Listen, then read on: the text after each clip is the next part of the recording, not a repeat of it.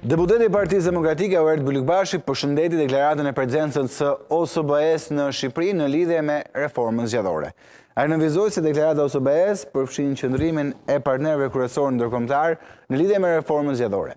Ai gjithashtu mirëpriti gatishmërinë e organizatës për t'u angazhuar me ekspertizë në procesin e reformës, në përputhje me traditën dhe kontributin më shumë se 20 vjeçar të OSBE-së. Qëndrimi i OSBE-së që reforma zgjedhore të përfshijë të gjitha partitë dhe ndryshimet në ligjin zgjedhor dhe ligjet e tjera duhet të materializojë qëllimet e përbashkëta është plotësisht në përputhje me qëndrimin e PD-së dhe opozitës që reforma zgjedhore të jetë konsensuale dhe gjithëpërfshirëse, si në proces dhe në rregullat e përbashkëta për zgjedhje të lira dhe të ndershme, u shpreh zoti Bylykbashi. Ndërkohë, Partia Demokratike kërkon në njëjtën frymë me qëndrimin e OSBE-s, bërjen me konsensus të reformës që opozita të caktojë vetë dhe jo të caktojë qeveria kush bashkëdrejton komisionin dhe përfaqësimin e saj në komision, theksoi Bylykbashi.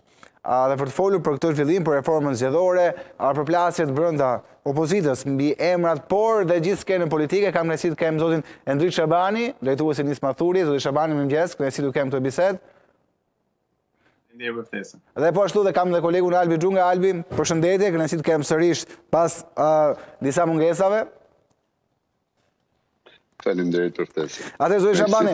Faleminderit shumë Albi. Zoti Shabani po e nis me ju reforma zgjedhore, si ju duk reagimi i OSBE-s, por edhe reagimet e partive të opozitës, t'i quajmë kështu, Rithemelimi dhe Partia Demokratike. Shiko, këtu nuk është më çështje reagimesh, këtu është çështje aktesh, veprimesh. Mm. Pra praktikisht ajo që është e rëndësishme dhe që ka ndryshuar që në 2018, dhe besoj që ne si Nisma Thurje kemi dhënë një kontribut në këtë drejtim, ka qenë të konceptuarit e reformës zgjedhore jo si një marrëveshje pazar po të duash quaje midis dy kryetarëve partive të mëdha, po si një debat publik, sepse reforma zgjedhore është mënyra se si qytetari zgjedh përfaqësuesin e vet në parlament apo në apo në bashki. Kështu që në në këto kushte besoj që kjo është e gjithë pranuar si ide që këtu duhet përfshihen sa më shumë aktorë për të vendosur rregullat e lojës. Pra, në qoftë se marrim një analogji nga sporti, po. në futboll biem dakord për rregullat e, e lojës dhe pastaj fillojmë konkurrojmë kush është ekipi më i mirë apo kush të kush arrin të marrë më shumë mbështetje. Kështu që në këtë pikë besoj parimisht nuk ka njeri që del kundër kësaj. Problemi është në praktikë, sepse duam s'duam ne vendimmarrjen e kanë ata që janë në parlament. sepse me të gjithë dëshirën që kjo gjë të vendoset me referendum, këto shtigje janë të, të penguara, ne e provuam si Nisma Thurje edhe që të bashkëpunojmë me një grup deputetësh në parlament për ta nisur për të bërë një kërkesë për referendum nuk ndodhi. Uh, edhe me një kërkesë që i bëmë KQZ-së nuk na pajisi me formularët për uh, mbledhjen e firmave. Pra, në këtë pikë ë uh, nuk duhen gjykuar më se çfarë thonë me fjalë, duhen gjykuar çfarë bëjnë me vepra. Dhe unë besoj që me vepra ata që janë në parlament duhet ta përdorin pushtetin që i ka dhënë votuesi për të ofruar një sistem zgjedhor që në thelb nuk deformon vullnetin e zgjedhësit. Por, zoti Shabani, ndjesë se ju ndërpres për të dhënë argument, kemi dhe zotin Rama që tha që një komision bipartizan, kemi partizanë dhe një Ashta ballist. Pra, çfarë, po, pra- çfarë, si, si e kuptoni këtë deklaratë, çfarë mund të sjellë kjo? Shiko, Rama ka mbetur publicist, mhm. edhe më shumë kujdeset për për mënyrën se si artikulon idetë se sa për idetë në vetvete. Reforma zgjedhore është mekanizmi i punësimit të politikanëve. Mhm. Kështu që kjo nuk duhet të jetë as bipartizan, as koalicion partizan ballist. Kjo duhet të jetë një model i cili nuk deformon vullnetin e votuesit. Shikoni, Në zgjedhjet e dy mijë e njëzet e njëshit, kur ishte hera e parë që Nisma Thurje mori pjesë në zgjedhje, rreth njëmbëdhjetë mijë votues votuan për t'u përfaqësuar në parlament nga Nisma mhm. Thurje. Ata njerëz sot nuk përfaqësohen në parlament. Pra problemi këtu nuk është se Nisma Thurje nuk ka një mandat. Problemi është se 11000 votues po. që nuk duan as Ramën, as Metën, as Berishën, ata sot nuk përfaqësohen në parlament. Mhm. Ky është problem. Pra, një sistem zgjedhor i drejtë e përfaqëson zërin e qytetarëve drejt në parlament. Në fakt, sistemi që kemi aktualisht, i cili buron që nga marrëveshja e 2008-s midis Sali Berishës dhe Edi Ramës, i jep mazhorancës, në këtë rast Edi Ramës, 6-7 mandate në çdo zgjedhje. Pra mandate plus asaj që i ka dhënë votuesi. Mhm. Kjo duhet të ndryshojë. Dhe që të ndryshojë kjo duhet të kalojmë nga sistem rajonal në një sistem proporcional kombëtar me lista. E kuptoj. Albi. Atëherë kryeministri Thimi po po luan me problemet në opozitë, me problemet në Partinë Demokratike, duke u përpjekur domethënë t'i marrë t'i marrë si alibi këto probleme në opozitë për ta shtyrë këtë në kohë dhe mundësisht për të mos bërë fare një reformë zgjedhore. Sepse i volit politikisht, siç e tha zoti Shabani, domethënë Partia Socialiste e Shqipërisë ka marrë 49% të votave të shqiptarëve, domethënë as shumicë absolute jo, por këto vota janë përkthyer në 74 mandate në Kuvendin e Shqipërisë. Domethënë, është e dukshme kjo, nuk e mohon dot askush, që politikisht kryeministrit i volit që të mos ketë një, po, reformë zgjedhore.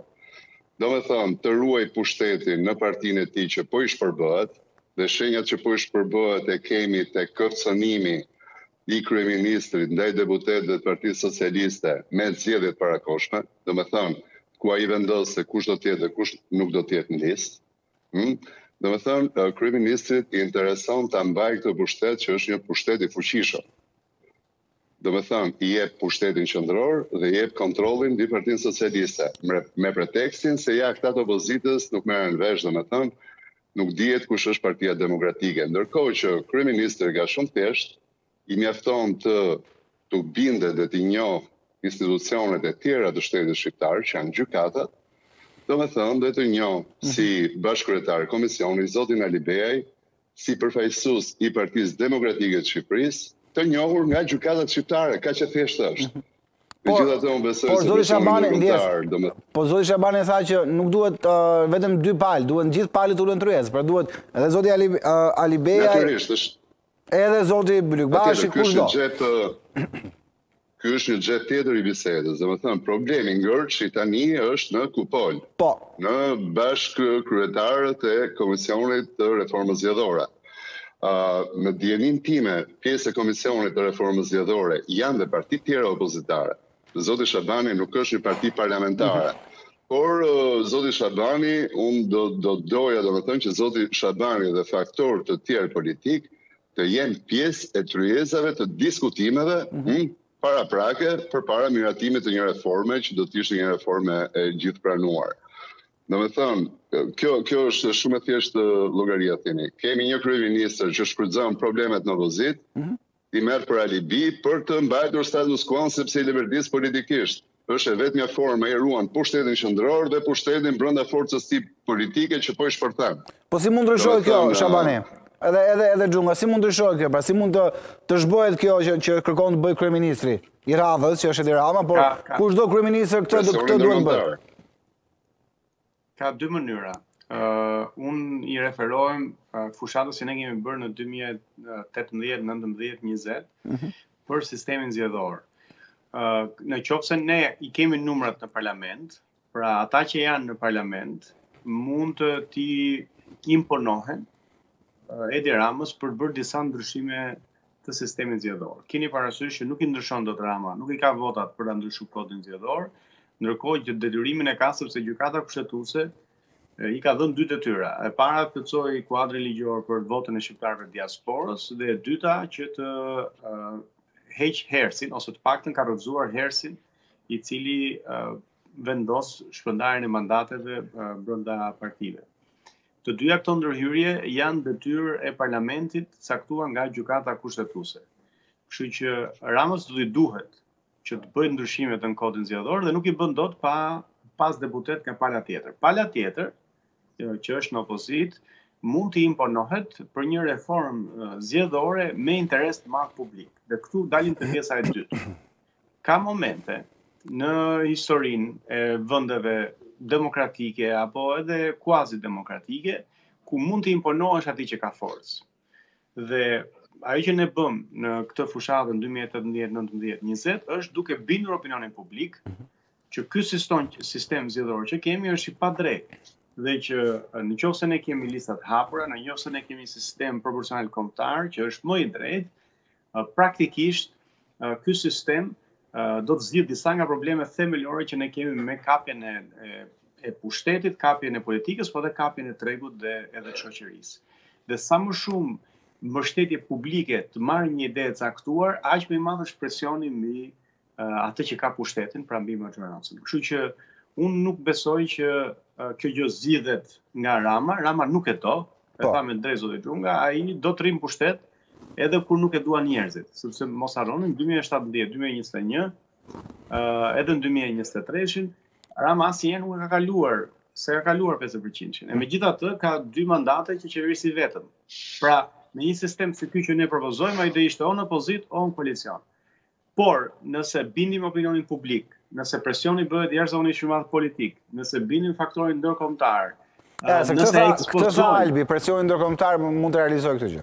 Po pa dyshim shkojnë bashkë ato, mm -hmm. shkojnë bashkë ato. Pra duhet ndërgjegjësuar njerëzit sepse pyetja është kush humbet nga ky sistem. Mm -hmm. Pra kush fiton është e qartë, fiton Rama.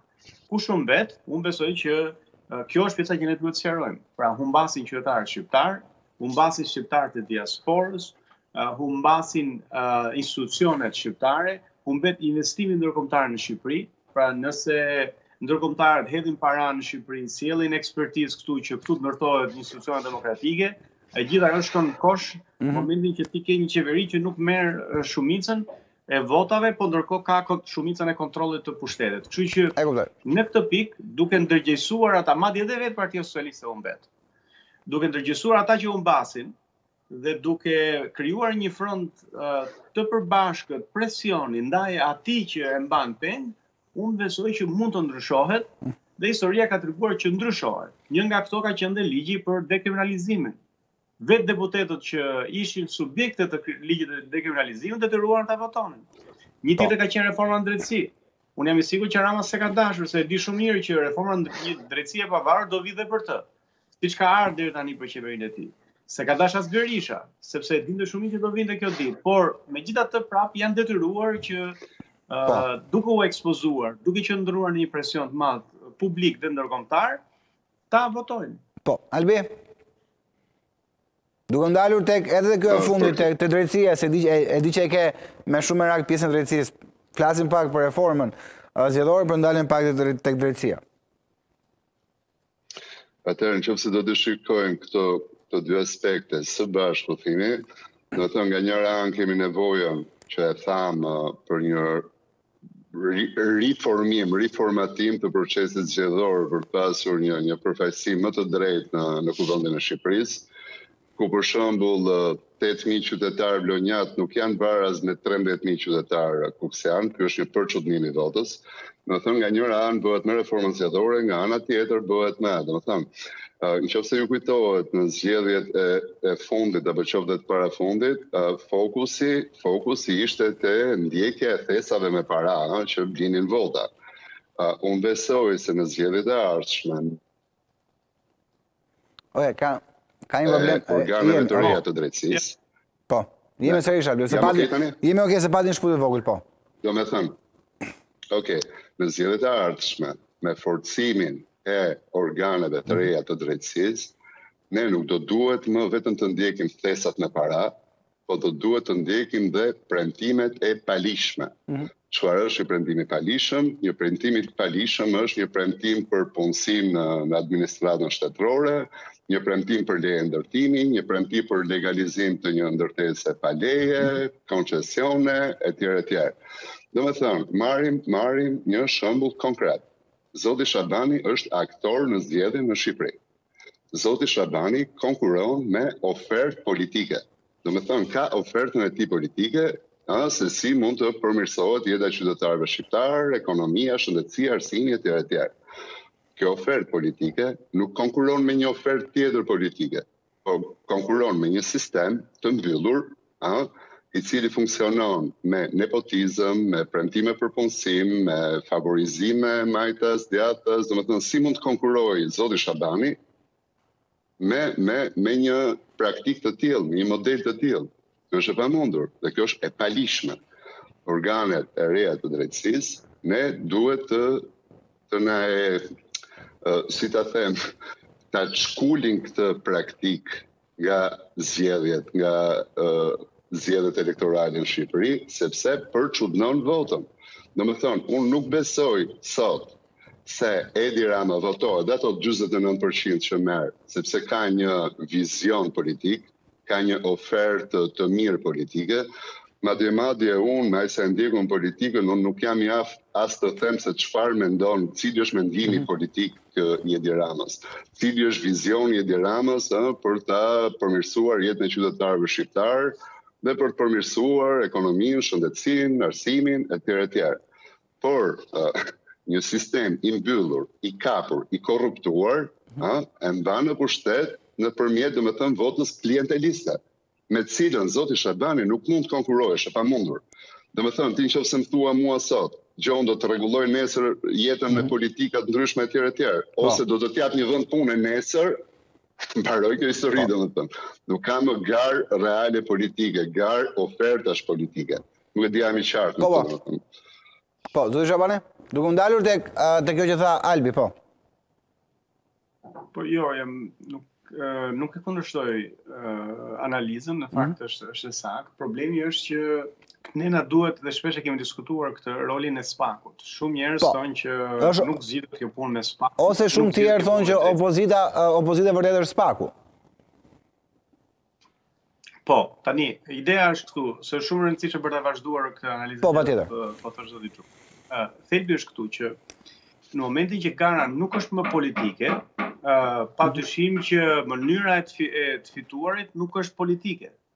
Pra ti mund të fitosh, po mhm. nuk nuk ndryshon asgjë për jetën e qytetarëve. Pra nëse unë do lidhesha me një grup kriminal, apo do ndaja pushtetin, se këtu ka pas parti të vogla që kanë ndarë pushtet me partinë e madhe. Mhm. Pra, kanë shkuar ke partia e madhe, partia e madhe i ka dhënë një drejtori, partia e vogël ka marrë ca njerëz në punë, edhe kanë qëndruar në pushtet. Po kjo nuk ka ndryshuar asgjë për jetën e qytetarëve shqiptarë. Ajo që ndryshon për jetën e qytetarëve shqiptarë është që të ndryshosh modelin e të bërit politikë. Dhe të merresh me grupe kriminale, të ofrosh vende pune, të ofrosh para, nuk është garë politike. ne na duhet një garë politike dhe për të bërë një garë politike mes ofertave, vizioneve, ideve të ndryshme politike, së pari na duhet ta kthejmë në kuadrin ligjor garën politike. Dhe që ta kthejmë kuadrin ligjor na duhet spaku, i cili çmonton grupet kriminale, bandat e armatosura që janë shtabe elektorale në terren, paratë e pista të drogës që investohen në fushata elektorale, dhe fillon dalëngadalë dhe minimizon ose kufizon pushtetin e oligarkëve të cilët mbështesin një parti politike që nesër të marrin tendera publikë apo të marrin llokma nga pasuria jonë kombëtare. Kështu që spaku është i domosdoshëm për ta futur garën politike në një garë ligjore. Pastaj, mbasi futet në një garë ligjore, këtu nuk është më roli i spakut. Pra kjo çështje nuk zgjidhet më vetëm me drejtësi ose me spak, sepse aty na duhet të konkurrojmë me ide politike. Dhe ne duke diskutuar, duke debatuar me ide politike, na duhet të ndryshojmë ca ligje. Sepse spaku vepron në kuadrin e ligjit. Pra për sa kohë investitorëve strategjikë me ligj u jepet toka publike, nuk ka çka që nuk ka çfarë t'i bëjë spaku asaj. Por ne na duhet ta ndryshojmë atë ligj. Po që ta ndryshojmë atë ligj, na duhet të shkojmë në parlament. Po që të shkojmë në parlament, na duhet që të konkurrojmë politikisht me uh, partitë e tjera që thonë ne do të taksojmë shtresën e mesme dhe do ia japim lekët mhm. oligarkëve, se kjo është para shumë që u bëjnë. Dhe ne duhet t'u themi njerëzve që jo, ke një ofertë tjetër politike, ja t'i ulim taksën për shtresën e mesme dhe të rrisim taksat për ata që punojnë mhm. më pak dhe kanë më shumë. Kështu që është një kombinim midis të dyjave. Por për sa kohë gara është antiligjore, uh, ai që fiton në fakt ka një pikëpyetje të madhe se si fitoi. Domethënë kjo është Kjo është okay. thelbi. A, a, zoti Xhunga dhe zoti Shabani, në këto minutat e fundit dua të dalim pak te skena e madhe po, politika ajo çfarë pritet të ndodhë, a të hënën në parlament, Albi, çfarë, çfarë parashikon të ndodhë si me, me opozitën? Kishim një konferencë për shtyp nga zoti Basha, e shumëpritur, një ngjarje, unë e cilësova edhe me shaka me kolegët një ngjarje historike, dalje në konferencë për shtyp e zotit Basha, nga ana tjetër kemi protestën që zhvillohet përditë në shpinë e zotit Berisha, dhe të hënën kemi parlamentin. Çfarë pret ti, Albi? Atëherë më lër ta nis okay. nga fillimi i pyetjes tënde, nga panorama e madhe. Domethënë, se duke u marrë me këto ngjarjet e vogla, protestë ke rrugica e Salës, flakadan në parlament, domethënë mhm., na ikën e tëra. Mua më duket se e tëra është më e rëndësishme. Thimi, kemi një projekt amerikan, një projekt perëndimor, për të çliruar skenën politike shqiptare. Për ta çliruar skenën politike shqiptare me anë të drejtësisë. Mm -hmm. Dhe kjo nuk është e padrejtë, ha? Kjo është, kjo do të bëhet brenda kuadrit ligjor. Domethënë, politikanët që kanë abuzuar, do të duhet të japin llogari dhe skena politike shqiptare do të çlirohet. Ky është plani dhe kjo do të ndodhë. Domethënë, ne tani jemi në showtime, kjo ka filluar dhe po ndodh. Po Edi Ramës i janë rrëzuar bashkëpunëtorët, i tërë eskalioni i parë i, i Rilindjes ka probleme, është ose në hetim, ose në gjykim, ose i dënuar, ose në kërkim. Goditja ka filluar në krahun, krahun e djathtë të skakierës politike, me liderin historik të Partisë Demokratike Sali mhm. Berishën, domethënë, po pastrohet skena politike shqiptare, dhe mbas kësaj vale të madhe të drejtësisë, sepse shumë krahasime bëhen me vendet e tjera, që ndonjëherë janë krahasime të drejta, po jo, jo të mjaftueshme sepse, në dijeninë time dhe unë kam folur me ekspertë, reforma në drejtësi në Shqipëri është aq e thellë, aq e fortë, sa është e pakrahasueshme me reformat e tjera, të mhm. ish-vendeve të Lindjes, si Kroacia, Rumania, e tjera, e tjera. Domethënë mund të jemi shumë të sigurt që kjo reformë do ta çlirojë skenën politike shqiptare që nesër zoti Shabani të konkurrojë me mhm. ofertë politike. Mos konkurrojë me oferta të paligjshme për punësim në administratë e tjera e tjera, gjëra që i thamë domethënë të të mos i përsërisim. Kjo do të ndodhë dhe për këtë mund të jemi shumë, shumë, shumë të sigurt. Duhet të kemi parasysh dhe një gjë, Thimi, në të gjitha parajsat fiskale të botës, ku mund të kesh llogari offshore, nuk ka një të vetme ku nuk kanë akses Shtetet e Bashkuara të Amerikës. Mos u çuditni okay. që në fazën e dytë të goditjes penale të kemi dhe zbulim të llogarive offshore të miliardave të korrupsionit shqiptar. Domethënë, është një projekt amerikan, ata janë investuar mhm. Me të gjitha fuqitë. Kemi dyzet ekspertë amerikanë në strukturën e posaçme antikorrupsion, dhe sigurisht nuk janë atje për të luajtur shah apo për të mbajtur dumanin me muhabet, domethënë skema, skema shumë e qartë. Vijmë tashmë tek ngjarjet aktuale. Domethënë, të merri i tre balenave të korrupsionit shqiptar, Edi Ramës, Sali Berishës dhe Ilir Metës, është futja në skenë e operatorëve të rinj politikë. Mhm. Endri Shabanit, e Partisë Demokratike Zyrtare, e forcave të reja politike. Aktori i ri ndjesë të pres. Aktori i ri është zoti Shabani, jo zoti Basha. Po, po, është aktori i ri i filmit sepse Po zoti Basha jo. Zoti Basha Të të kundërshtoj. Po, po, zoti Basha është një, është një, po ti më kundërshton, unë do të jap argumentin okay. tim. Zoti, zoti Lulzim Basha është një operator i ri politik, sepse zoti Lulzim Basha me gjithë postet ministrore është një politikan që nuk ka pasur kurrë pushtet real. Domethënë, qoftë se ju do më thoni që mhm. ministri ka pushtet real në Shqipëri, atëherë do duhet të pranojmë që zonja Ibrahimi ose zonja Krifca janë njerëz me pushtet sot në Shqipëri, por nuk mhm. besoj se është kështu. Domethënë, edhe në vende ku demokracia funksionon, duhet të kemi parasysh që arkitekti dhe pushtetmbajtësi është kryeministri. Ministri është inxhinier zbatues. Kryeministri është një pushtet që buron nga vota popullore. Domethënë, populli voton parlamentin, parlamenti voton kryeministrin. Ministri është një pushtet i emëruar. Kryeministri e ka më të vështirë të heqë nga puna një pastruese të kryeministrisë, sesa një ministër. Pastruesja ka një kontratë, të cilën duhet t'ia respektosh. Një ministër hiqet hiqet nga puna me një firmë. Domethënë, në atë sekundë që kryeministri nuk do që ai të jetë më ministër, ai nuk është më ministër. Kjo, kjo, domethënë, ky skenar ka vetëm një përjashtim, kur ministri në fjalë vjen nga një parti koalicioni, largimi i cilit mund të prishte koalicionin dhe të rrëzonte mazhorancën, ne kemi pasur në Shqipëri për shembull një ministër të LSI-së që tallej haptazi me me Edi Ramën.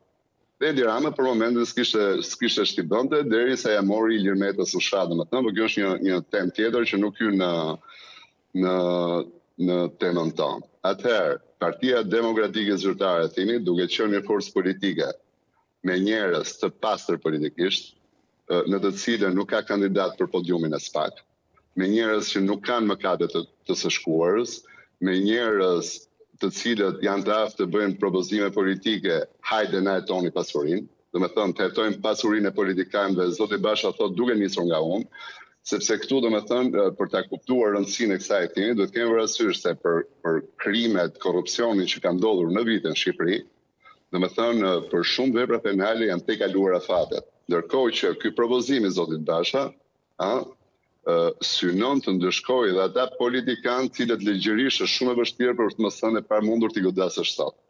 A, një, një veting, domethënë, siç u bë për gjyqtarët dhe për prokurorët, vetohet pasuria e politikanëve. Dhe kjo nuk është një gjë kaq e tmerrshme, pretendojnë që janë figura me moral të pastër, që kanë pasuri të ndershme, t'u mhm. verifikohet, ë kaq kaq e thjeshtë është historia. Domethënë, në, në, në, në, këtë, në këtë sens, partia demokratike zyrtare okay. është një operator i ri politik bashkë me Zotin Basha. Domethënë, tragjedia e këtyre Thimi nuk është Edi Rama humb pushtetin nga Sali Berisha ose anasjelltas. tragjedia e këtyre është kur pushteti ikën nga kjo skemë, domethënë që e ka mbajtur pushtetin në Shqipëri për 30 vjet. E kuptoj, Zoti Shabani, për ta mbyllur, çfarë, çfarë duhet të presim në... Po. po, rotacioni dhe kjo që tha uh, Albi, bie dakord me, me Albi që Basha është operator i ri politik, njësoj si ju? Uh, Shiko, rotacioni politik në Shqipëri ka nisur. Kjo nuk ka dyshim. Uh, por, sikurse ka nisur rotacioni politik, uh, aktorët e vjetër nuk duan ta lënë që kjo gjë të mm -hmm. Pra, mos harroni, për shembull, ka qenë një farë kohe kur uh, Sali Berisha bashkëpunonte me Fatos Nanon, Dhe në këtë moment ata rrisnin dhe më tepër autor autoritarizmin brenda partive të veta ose kontrollin mhm. mbi mm -hmm. institucionet dhe shtetin. E njëjta marrëdhënie ka qenë prej shumë vitesh me Edi Ramën.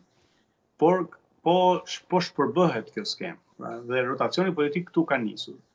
Pa dyshim që duke Duke nisur rotacioni politik, duke u decentralizuar skena politike, qytetarët pastaj kanë mundësi të gjykojnë mbas për çdo për çdo aktor që është në në lojë, jo vetëm për sa i përket moshës, apo kohës në politikë, po për sa i përket përgjegjësive dhe për sa i përket ideve që propozon.